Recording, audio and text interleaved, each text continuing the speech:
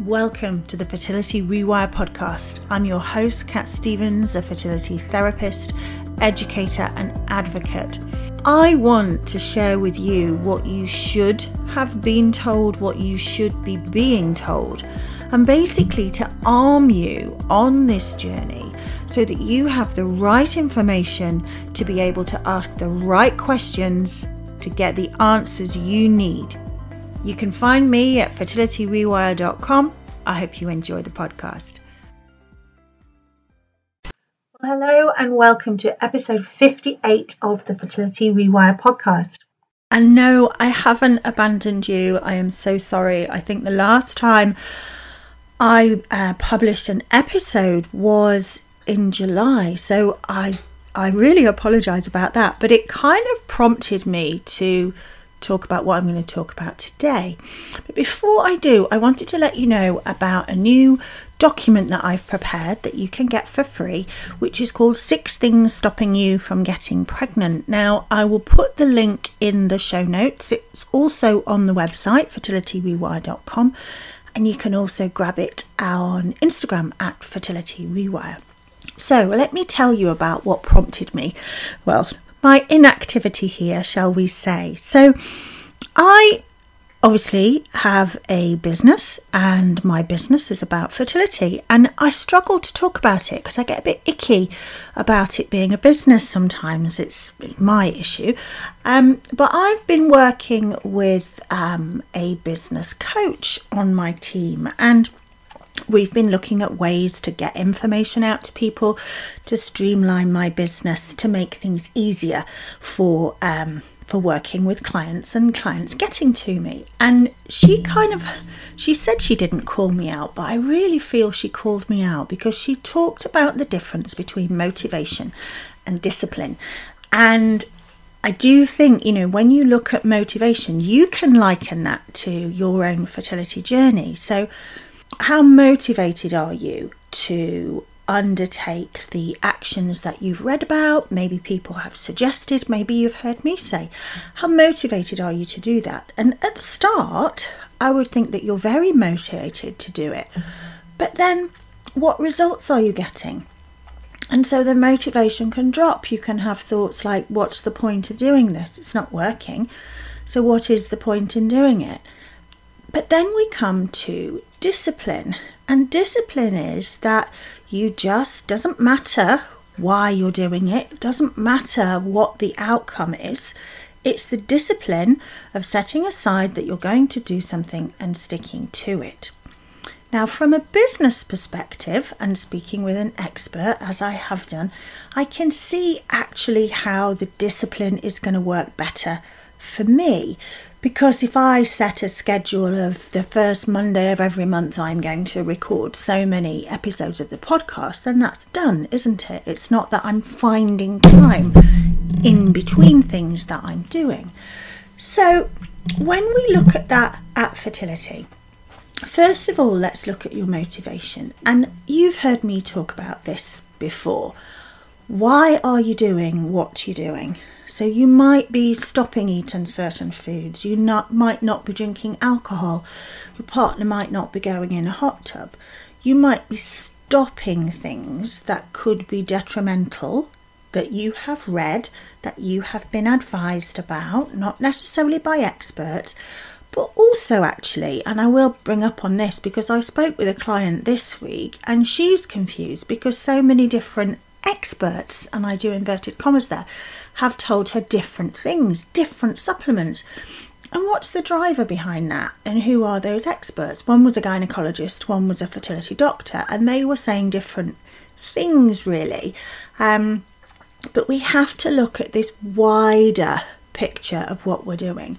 So, yes, supplements are important, diet is important, your stress levels are important various over the counter things that you can get, different herb supplements. They may help you, but just because they help one person doesn't necessarily mean they help another.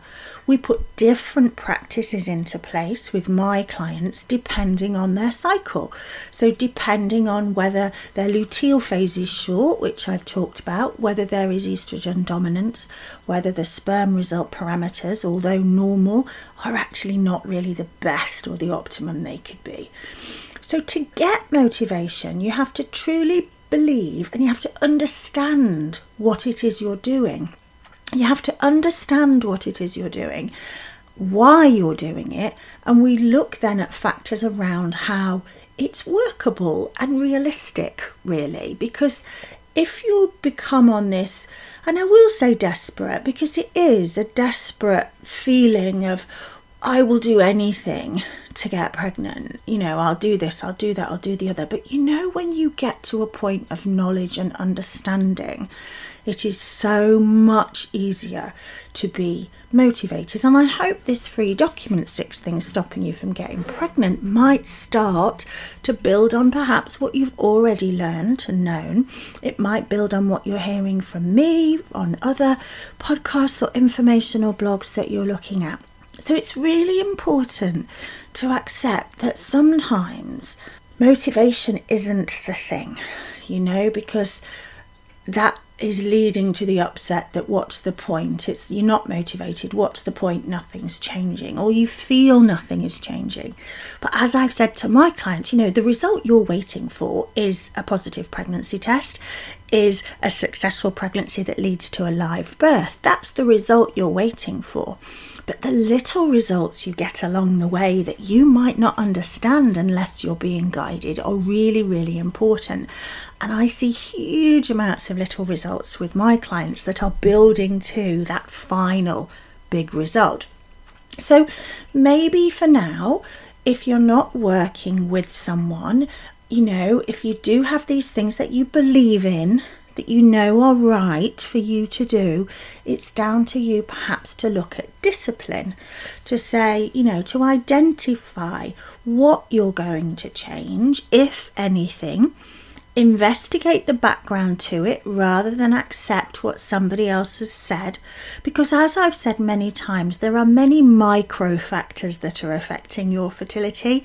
It might not be one big thing. I mean, the big thing is the fact that you're not getting pregnant, but these micro factors that we can look at and address might be where you need to go. And actually, and I'm sorry to mention stress because or let's call it worry. Your worry about the fact that you're not getting pregnant, your worry and your fear about the fact that all these things you're doing and still you're not getting pregnant, the unfairness of it all, and the desperation that I did talk about earlier, all of those factors may be negatively impacting your fertility, which doesn't help I know doesn't help, and we can look at ways to reduce that response in you. But one of those, and I come back to this, is when you understand why you're doing what you're doing. When you see those micro results, when you see things slowly changing, that can put your motivation back on track. Or maybe you need your motivation from an outside source maybe it's time that you're able to slowly drop this and put your trust in somebody else, somebody like myself or similar. And that's a big part of when I'm working with people that it's, I ask the question, are you prepared to put this aspect, often not the whole picture, are you prepared to trust me to just help you to support on this bit. And we set time frames and you can do that for yourself. Well let's do this for three months and let's see where we're at okay? So i wanted to think about discipline. I wanted to think about motivation and here is my discipline now. I am going to record podcasts on the first monday of every month and then there will be a steady stream for you. And if things happen like they have happened for me over the past few months, I still have a bank of podcasts for you. So that's my um, discipline, and my motivation is that you get the information that you need. And I strongly feel that my role, yes, I have a business, but my biggest role and my passion is that I inform you and I can advocate on your behalf when you're speaking to medical professionals and so on. So, think about your motivation, maybe drop the motivation for a little while, look at discipline just momentarily, and then try to find out why you're doing what you're doing. And when you have trust and belief in the actions you're taking, or trust and belief in the person who's advising you of these actions, you might find it easier to follow a specific protocol, not an everything protocol. I hope that helps, and as I've said, I will be back speaking to you regularly. And if you wanted to get your hands on the six things stopping you from getting pregnant, go to fertilityrewire.com in the free resources section. Go to Instagram at fertilityrewire or look in the show notes wherever you are listening to this. But for now, take care. I really hope you enjoyed that episode.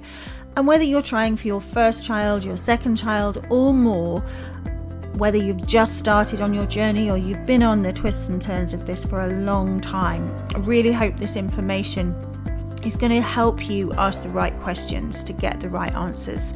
And if you want to know any information about Fertility Rewire, about working with me, or the free resources that I have available, please visit www.fertilityrewire.com. Until next time.